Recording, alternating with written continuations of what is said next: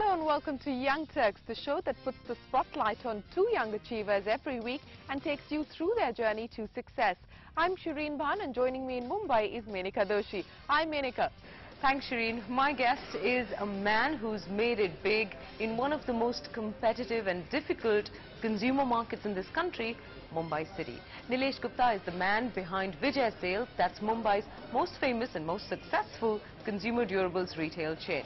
You'll meet him in just a short bit from now, but right now it's back to Shereen. Thanks, Menka. My guest today is chilly hot. He's quite literally shot to fame. He's become the nation's latest poster boy. And no, he's not a cricketer, he's not a Bollywood superstar, and he's certainly not a politician.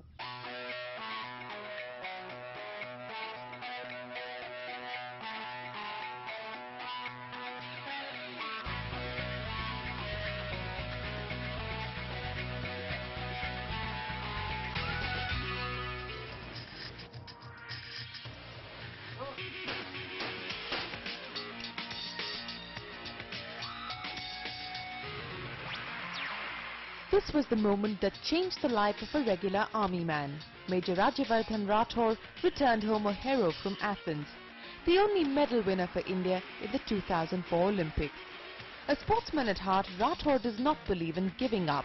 He took to the sport rather late in life but decided to make a go of it despite opposition from his colleagues who thought he was jeopardizing his army career.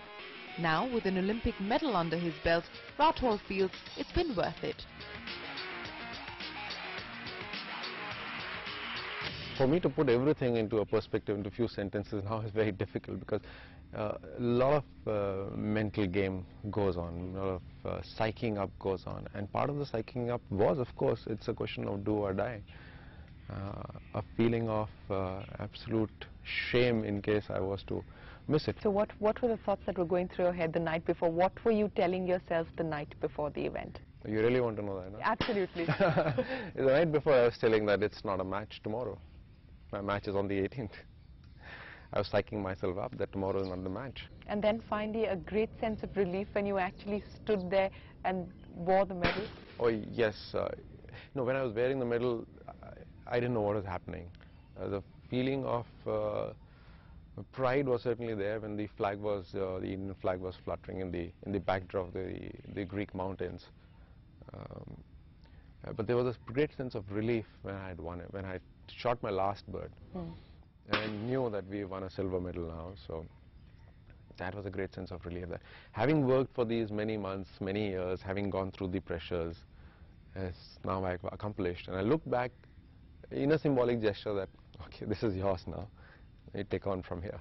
Going back to you as a person, I believe shooting happened for you rather late in life. You were 28 when you finally decided to take up shooting as an event, but you've always been interested in sports, I believe polo, boxing, cricket, you name it. But why shooting? Why did you decide to then focus on shooting as an event?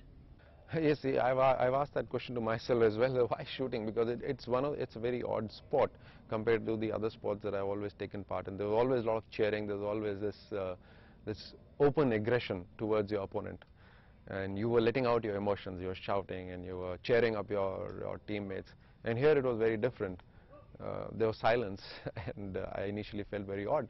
But then later I realized the the entire turbulence, if I can call it, or turmoil, is not happening outside as in other sports.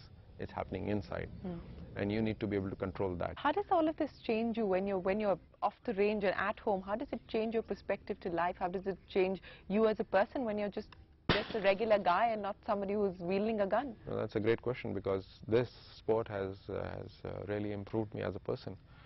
Um, I can't even state how, but it has improved me tremendously. Gearing up for battle comes easy to Rathore. Being part of the army infantry, he's been posted to Kargil, Kashmir and the northeast. Life on the shooting range isn't very different from being in the army. Discipline is still the key. A vigorous exercise schedule, strict diet control and lots of practice. That's typically what his day looks like. I would uh, continue to be a soldier. I'm, I'm very proud of the fact that I'm in the armed forces. I love the uniform. It's one of the best organizations India can have. It's, a, it's an organization that India can depend on, I can say that. As far as shooting is concerned, I would continue shooting. I have uh, I have a responsibility now in any case, not only towards uh, performing in my event, but also in trying to, uh, to if I can, motivate the youngsters, uh, get the spirit of Olympics back again. Just talking about you and the army now, there's going to be no Major Rathore in Kargil or Major Rathore in Kashmir anymore. So in that sense, your career would be limited within the army. No, I feel sad about that actually. Um, I've, I've just lost one of my best friends in uh, Kashmir. So of course, there's this feeling of getting back there and uh, you know, taking them on again. But I think uh, my colleagues, my friends are doing that in any case. So is that, is that something that you will now miss out on? Is that something that you regret that along with the kind of success that you've now found as far as shooting is concerned, there's another very important, significant part of your life that you, in a sense, have to give up on? Yes, certainly. I've always uh, missed when my battalion was there uh, in East fighting the insurgents there. And when the soldiers used to come back home, they would write to me or they would meet me and uh, they would literally urge me to come back to the battalion. So I too feel a part of that team and, and literally feel like, I felt like it at, at, at, a time before the Olympics to throw this all up and get back to the team that I was always with. Uh, but yes, I will miss that in any case. A national hero, but a modest one. The past month has put the spotlight on him. He's not media shy or at a loss for words, but he's certainly embarrassed by all the attention. It's been almost a month now since the historic win has happened in a, in a sense and you've got cameras thrust in your face and microphones thrust in your face but you don't seem uneasy with it at all. I mean you're in fact very very savvy, the most savvy person that I've met in front of camera. No, I wouldn't put myself as savvy but uh, I think I'm just stating out the facts and, and, and that's why I don't feel uncomfortable. Mm -hmm. I have nothing to hide. I'm just trying to bring out what happened and what is likely to happen in future. Well, now you, have pretty much become a sort of hero as far as uh, the nation is concerned. what is the definition of a hero? Who's given that definition to you? Every, everyone's talking about you. Everyone's writing about you. Everyone's trying to interview you. But that's just, just because the Olympics is just over. It's Absolutely. natural for them to sure. write. But, but that, that's what I wanted to talk about. Are you seeing a lot of interest coming to you from advertisers, from corporates who suddenly want to sort of sign you up, want you to endorse their products? Is all of that happening? Yes. And, and have you bitten any contracts yet? Have you signed on any dotted lines yet? No.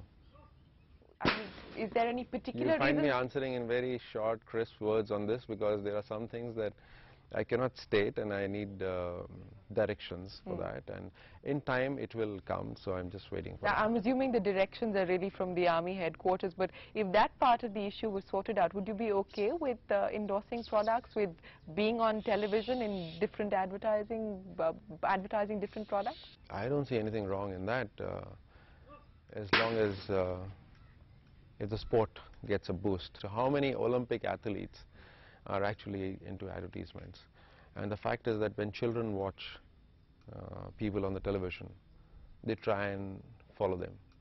And if it's only a particular sport that is shown on the television, there's nothing wrong in the children following that sport. You're also known as Chili Rathore now. Is that because you've got a fiery temper or why, where do you get that name from? How did you get that impression that I have a fiery temper? you don't seem like that, which is why I wanted to ask you where chili, chili came yeah, from. Chili is C-H-I-L-L-Y, which means chilled out, cold or something. Well, I don't know. I won't tell you how exactly I got it, but um, it's been there since I was maybe five or six years old. Uh -huh. And uh, since my name, you know, I've always told my mom that why did you, even now I keep telling her, why have you given me this long name, Rajyavardhan? You know, by the time people start calling me, I've already gone out of the room, you know. so, but she says, well, she likes this name, and um, so a lot of my friends don't call me Rajyavardhan, they just call me Chili. Uh -huh. And uh, even in the army, a lot of people call me Chili. So even the, some of the soldiers call me Chili chili saab or something like that. chili saab so it, it's chili, not the fiery one, but chili, the chilled out one that that uh, you really well, like to be identified to, with. I, I, like to say that uh, at the right time, it's either C-H-I-L-L-I or C-H-I-L-L-Y. Okay. it's hot or cold at the right time.